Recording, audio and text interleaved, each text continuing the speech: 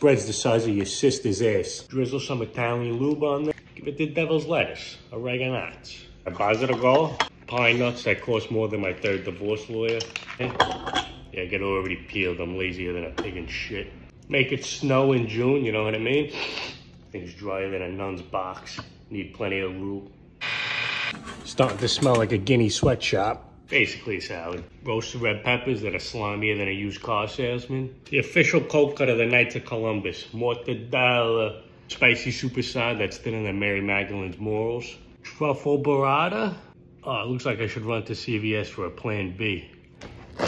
feel like a fucking lumberjack. Cross sections are straight panty dropper. Brush your hair. Merch out now. Hey, done.